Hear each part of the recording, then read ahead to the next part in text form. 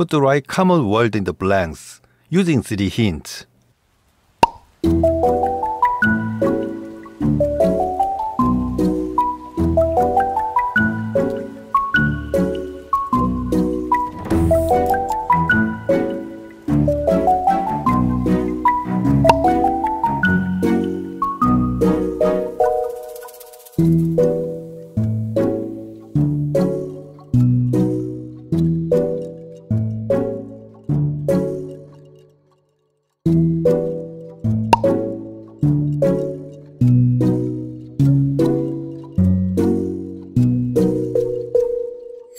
Thank you.